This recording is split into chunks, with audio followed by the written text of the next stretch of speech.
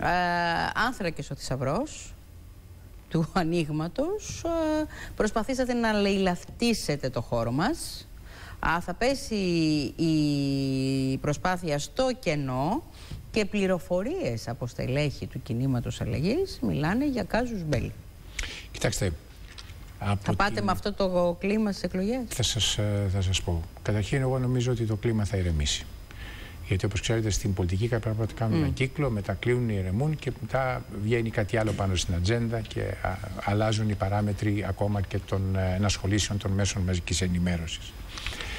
Ε, νομίζω πως, ε, ε, τα μέσα θα σταματήσουν να ασχολούνται. Τρεις μέρες το θαύμα. Το ζήτημα είναι αν αυτό το τραύμα στις σχέσεις θα παραμείνει. Ε, δεν θα μπω στην διαδικασία να διαβάσω το άρθρο του, αλλά βρήκα εξαιρετικά ενδιαφέρον το άρθρο που έχει γράψει στο 2.47, στο 24 λεπτά, ο Σεραφείμ mm. σήμερα, με τίτλο «Η ιδέα για τον ε, νέο ΣΥΡΙΖΑ εισαγωγικά που θα μείνει».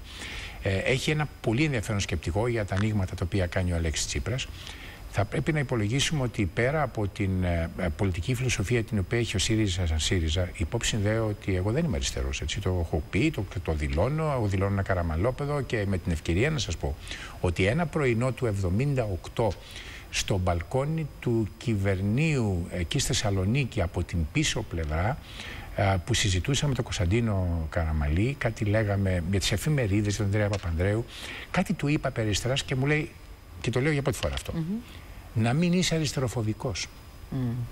και να έχεις εμπιστοσύνη και στην εντυμότητά τους.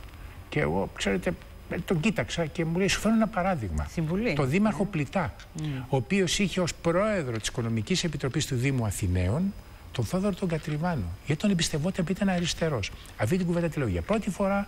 Ε, εν πάση περιπτώσει, εγώ αριστεροφοβικός δεν είμαι, αλλά και από την άλλη πλευρά να ξέρετε ότι υπάρχει πάρα πολλοί κόσμος. Μπορεί να μην του αρέσει η ΣΥΡΙΖΑ, mm -hmm.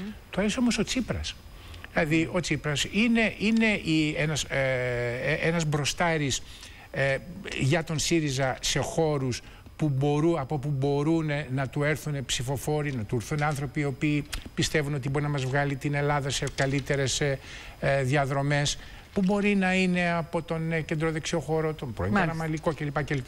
Τώρα, σε ό,τι αφορά τους ε, ε, συγκεκριμένους δύο συναδέλφους, ναι, εγώ θυμάμαι το, το, το πόσο μας είχε κάνει ε, δηλώσεις έτσι, επιθετικές οξίες, mm. ε, κυρίως ο κύριος ε, Θάνος Μωραΐτης, αλλά ξέρετε κάτι, επειδή πράγματι στη ζωή πρέπει να προχωρήσεις με αποφάσεις και επιλέγεις ότι θα πρέπει να στηρίξεις κάτι που πιστεύεις ότι μπορεί να πάει την Ελλάδα μπροστά, ε, καλοδεχούμενος ε, στην, στην γενικότερη προσπάθεια που κάνουμε κάποιοι άνθρωποι.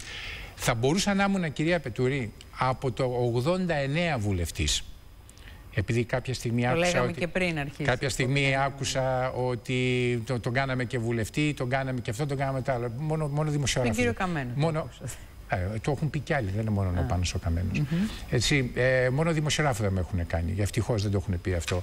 Λοιπόν, από το 89 θα μπορούσα να ήμουν βουλευτής ε, και το 93 να υποδέχομαι στη Νέα Δημοκρατία τον Πάνο τον Καμένο. Αλλά, εν πάση περιπτώσει, δεν το έκανα. Το έκανα για χάρη του όμως και δεν, δεν το μετανιώνω. Δεν το σχολιάζω αυτό. Και δεν το, δεν το σχολιάζω πώς μας λέγανε οι δάσκαλοι μας. Και δεν το μετανιώνω. Ε, ε, αποδέχθηκα, δεν το χαλάω. αποδέχθηκα να, να. Γιατί δεν με πήρε ούτε για τις γραβάτες μου, ούτε για το 1,86 που με ύψο.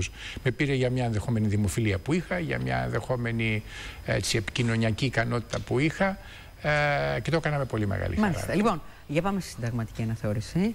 Α, που είναι το δύσκολο κομμάτι είναι αυτό. Το δύσκολο κομμάτι. Εσείς δεν έχετε πρόβλημα κανένα. Λοιπόν, να πάμε καταρχάς στον ε, Λάμπρο Παναγιώτου.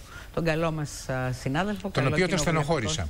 Το Λάμπρο. Ναι, Λάμπρο, θα σας πω, τι σου έκανε ο Υπουργός; Θα σας πω γιατί. Γιατί ήταν μια μέρα όπου ναι. μου έστελναν αλλεπάλληλα μηνύματα για να του δώσω α, τις θέσεις μου για το πού πάει. Ήταν ναι. τότε που ορκιζόμουν, δεν ορκιζόμουν, ναι. ναι. ναι. Ε, και δεν ήταν μόνο ο Λάμπρος, ήταν όλοι οι καλοί μου οι φίλοι που με πέρανε και δεν τους απαντούσα. Δεν τους απαντούσα. Αισθάνομαι πολύ μεγάλο βάρος, αλλά δεν ήθελα να μιλήσω σε κανέναν ακριβώς για να μην ανατροφοδοτώ πράγματα. Ο Λάμπρος ήταν ένας από αυτούς και ζητώ συγγνώμη, αλλά... Λάμπρε; Εγώ ναι, προσπάθησα, πράγματι ήθελα μια δήλωση.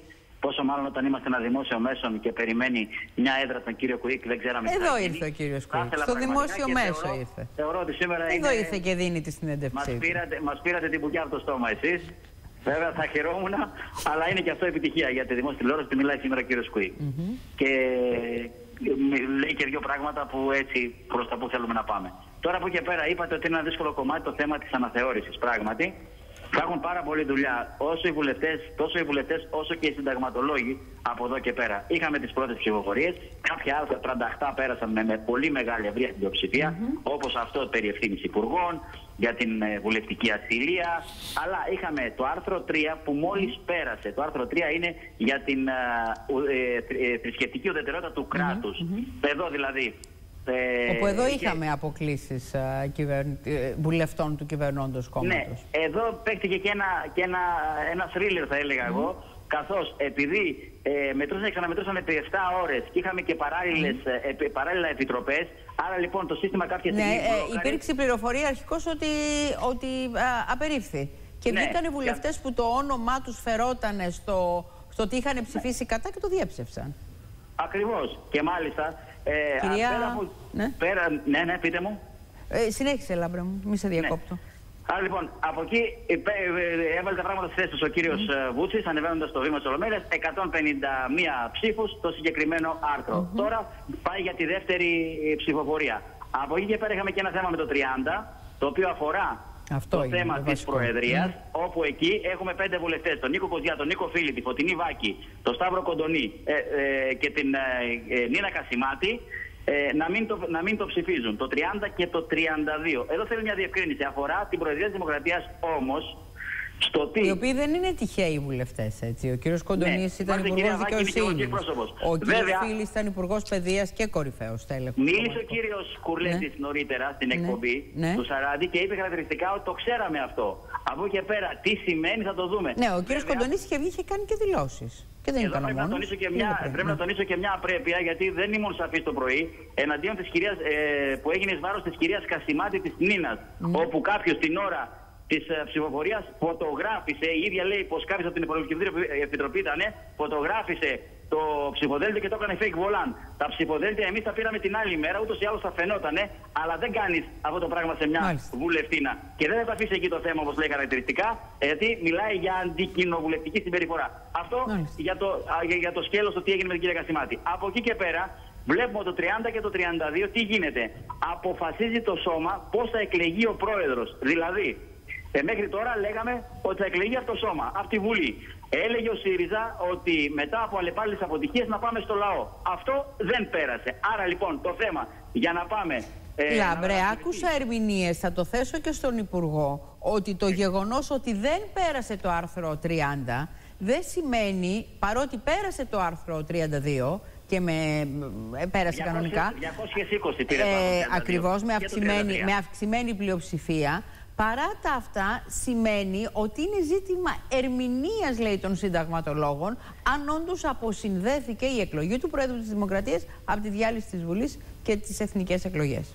Εγώ θεωρώ ότι αποσυνδέθηκε από το λαό. Δηλαδή δεν θα πάμε σε, να πάμε στη λαϊκή τιμιγορία. Καλά, αυτό είναι καθαρό. Σκέλος, αυτό το είναι πρώτο καθαρό. λένε ότι πολλοί συνέβη. ότι έχουμε αποσύνδεση της εκλογής του Προέδρου της Δημοκρατίας από τη διάλυση της Βουλής. Αυτό η κατεύθυνση ήταν ότι να πάμε προς τα εκεί, να αποσυνδεθεί. Ναι. Δηλαδή δεν θα έχουμε εκλογές, παραδείγματος χάρη, το 2020, καλώς των πραγμάτων, mm -hmm. εξαιτίας του κυρίου Παυλόπουλου. Άλλωστε, ο Αλέξης Τσίπρας θέλει να τοποθετήσει τα πράγματα στη θέση τους, λέγοντας ότι εγώ προτείνω από τώρα τον Μάλιστα. Α, Λάμπρε μου, σε ευχαριστώ πολύ. Πρέπει λυπάμαι να σε διακόψω. Μπορούμε να συζητήσουμε πολλά ενδιαφέροντα στοιχεία ακόμη του ρεπορτάζ, διότι έχει ρεπορτάζ και έχει και γνώση του.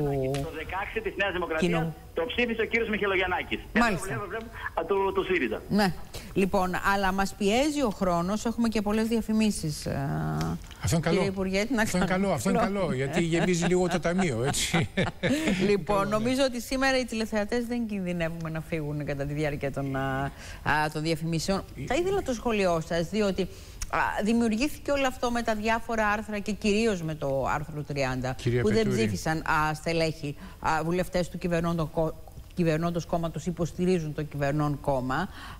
από την άλλη Νέα Δημοκρατία βγαίνει και κατηγορεί την κυβέρνηση ότι έστησε αυτό το σκηνικό διότι φοβάται ή διότι θέλει να υλοποιήσει το σχέδιο της δεξιάς παρένθεσης. Ε, καταρχήν κύριε Πετούρη, η Νέα Δημοκρατία, η Νέα Δημοκρατία και μέρα να είναι νύχτα θα το βγάλει. Μάλιστα. Νύχτα είναι μέρα θα τη βγάλει. Οπότε εκεί δεν θα μπω σε αυτή την ε, λογική της mm -hmm. ε, απάντησης. Όμως θα σας πω κάτι το οποίο δυστυχώς είναι αλήθεια. Εάν βάλουμε εδώ, εδώ, στην κουβέντα μας επάνω, πέντε συνταγματολόγους να μιλήσουν, θα ακούσουμε πέντε διαφορετικές απόψεις. Μάλιστα. Οπότε ομολογώ ότι δεν μπορώ να μπω εκ των πραγμάτων και δεν είμαι και συνταγματολόγος σε αυτή την κουβέντα. Ε, χαίρομαι ιδιαίτερα που ευθέως ο Πρωθυπουργός είπε στη Βουλή ότι η πρόταση είναι Προκόπης Παυλόπουλος.